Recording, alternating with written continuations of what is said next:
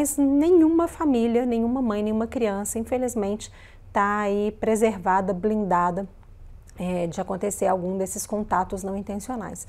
E quando a criança tem um contato né, com a proteína que a gente já sabia que ela fazia reação alérgica, com a proteína do leite de vaca, por exemplo, ou que num processo aí às vezes de introdução alimentar ou de reintrodução de algum alimento na dieta da mãe ou de mudança de fórmula, a criança reaja, né, faça reação alérgica, dispare os sintomas, então sintomas de pele, placa vermelha ou dermatite atópica, inchaço das partes mais molinhas, né, principalmente do rosto, que a gente chama de angioedema, asma, que pode estar ligada à alergia, é, infecções respiratórias de repetição, né, pneumonia, bronquites, bronquiolites, que às vezes precisam de internação, aquele chiadinho constante ali na parte respiratória também, sintomas gastrointestinais, doença do refluxo, que pode estar associada à alergia à proteína do leite de vaca ou alergia, outras alergias alimentares, é, sintomas intestinais como diarreia ou prisão de ventre,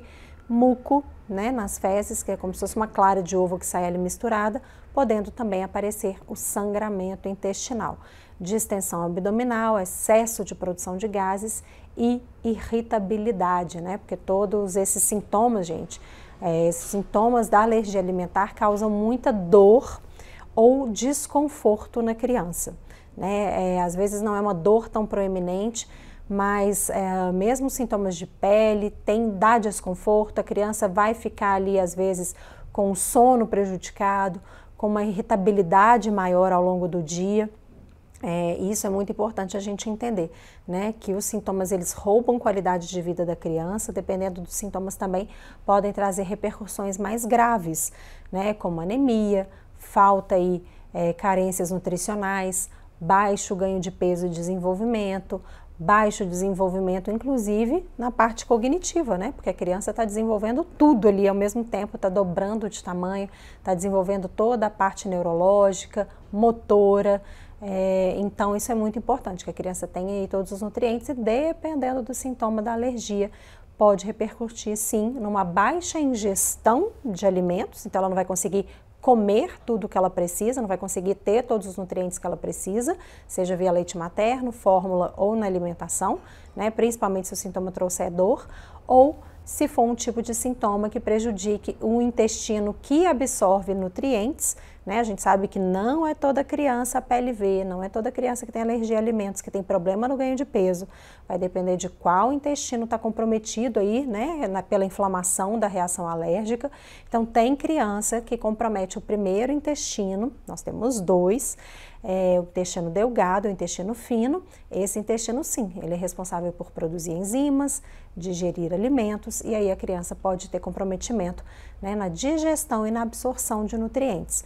E, independente do, do intestino que esteja inflamado, quadros de diarreia também, né, como trânsito ali daquele bolo alimentar que depois vira bolo fecal, está muito acelerado, não dá tempo do organismo absorver esses nutrientes. Então a criança também pode ter problemas ali, né, uma desnutrição, uma baixa absorção de nutrientes essenciais para ela se desenvolver. E aí ela pode comprometer ali tendo atrasos neurológicos, motores, que podem comprometer para o resto da vida né? A questão da anemia também, né? Pela, inclusive pela perda de sangue é, pelo intestino, que sai ali junto com as fezes.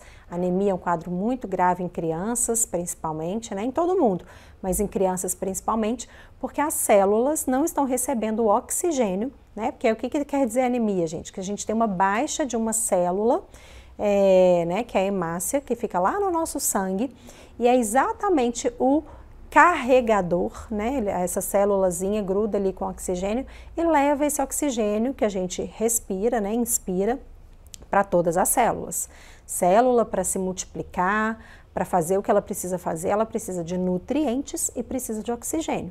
Então, se falta nutriente ou se falta oxigênio, o corpo não faz o que ele precisa fazer de melhor, não se desenvolve, a criança não cresce, é, não tem os aprimoramentos neurológicos e motores que ela precisa ter. Então, a gente tem que ter muito, muito, muito cuidado nesse sentido. Né? Então, por isso é muito importante que médico nutricionista, é, né, que é a equipe mínima, né, que eu sempre falo, equipe mínima para o acompanhamento da família da criança alérgica acompanhem realmente essa evolução, né? que tenham esse olhar cuidadoso. Então, como que está a dieta da mãe? É, foi necessário, num primeiro momento, retirar mais alimentos ou, enfim, o profissional é, inicial acabou retirando, ou a mãe, né, ou a família foi retirando ali por um desespero, porque queriam ver a criança bem, é, estabilizou e fez o processo certo, alinhou expectativas ali com a família, é, o nutricionista equilibrou a dieta, ensinou os cuidados do dia a dia, né? Tudo que eu passo lá dentro do meu programa online, a gente estabilizou a criança, a criança parou de fazer as reações, todas essas, né? Cada criança a gente reage de um jeito, cada criança vai ter um conjunto de sintomas, né? É, todos esses que eu falei anteriormente podem estar ligados à alergia à proteína do leite de vaca. Então a gente estabilizou essa criança, perfeito. É, então agora vamos ver como é que está essa dieta materna, né? No caso da criança que reage via leite materno. Então, vamos reintroduzir aos poucos alguns alimentos que a gente não tem certeza se a criança reage, né? Um por vez, é, optar por alimentos sempre mais cozidos, porque sempre que a gente aquece, cocciona o alimento, esquenta essa proteína, ela muda a cara dela, ela muda a configuração. E é como se ela colocasse, vamos dizer aí, uma, uma fantasia né, uma máscara de carnaval ali, ela fica fantasiada e muitas vezes as células de defesa não reconhecem aquela proteína e não fazem guerra, não fazem reação alérgica. Então, sempre que a proteína está mais cozida, a gente tem um menor risco, né? Não é zero, não é que vai anular, tá, gente? Tem um menor risco da criança fazer reação alérgica. Tanto que tem crianças que já toleram quando a mãe ou a própria criança come aquele alimento, né?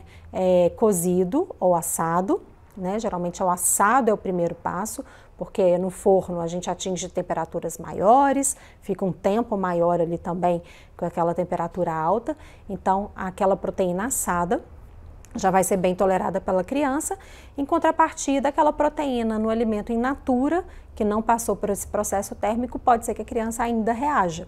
Tá? Então tem todo um passo a passo aí de introdução e como introduzir esse alimento, essa proteína de forma mais segura possível, para que o médico vá avaliando também como que essa criança está reagindo, né, para ver o grau de tolerância e para ver o que, que a gente já consegue voltar na dieta, tanto da mãe quanto da criança. Tá? Então isso é muito importante. Tirou muitos alimentos no início, gente, é o que eu sempre falo aqui, a grande maioria das crianças é, alérgicas né, a alimentos, elas não reagem a tantos alimentos assim. Muito cuidado com isso. Dietas muito restritas aí em 5, 8, 12 alimentos, né, o que eu mais vejo aí, infelizmente, são mamães é, quase que no, no, desespero, vivendo quase à base de água, tapioca, frango, batata e arroz. Cuidado com isso, muito cuidado com isso. O que você vai conseguir com isso é uma desnutrição, você vai passar mal, você não vai conseguir produzir leite em quantidade suficiente para o seu bebê e você pode provocar um desequilíbrio na sua flora intestinal por conta disso, né? Porque você está comendo sempre ali aqueles mesmos tipos de alimento e bactéria não gosta disso. As bactérias do seu intestino são essenciais para regular o sistema imunológico, tanto da flora intestinal da mãe quanto da flora intestinal do bebê, porque tudo isso também passa via leite materno, né? Da mãe para o bebê, melhorando ali a flora. Então, se a gente bagunça a nossa flora, se a gente não dá os nutrientes que a nossa flora intestinal, que as nossas bactérias intestinais gostam, a gente vai causar um desequilíbrio, a gente vai ter um, né, um decréscimo ali, uma baixa das bactérias benéficas que nos ajudam a digerir alimentos, que nos ajudam a converter vitaminas na forma ativa, que nos ajudam a regular resposta imunológica e aí você vai piorando a qualidade da sua flora intestinal, porque a dieta está super restrita. É, e aí também uma pior qualidade de bactérias começa a passar via leite materno chegando na criança.